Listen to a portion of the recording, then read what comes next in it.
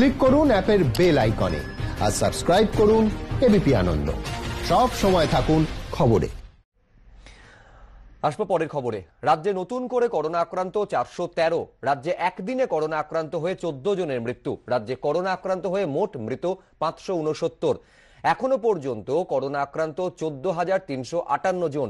এই মুহূর্তে রাজ্যে করোনায় চিকিৎসাধীন পাঁচ হাজার একশো দুই। চব্বিশ ঘন্টায় রাজ্যে করোনার সংক্রমণ মুক্ত তিনশো নব্বই জন।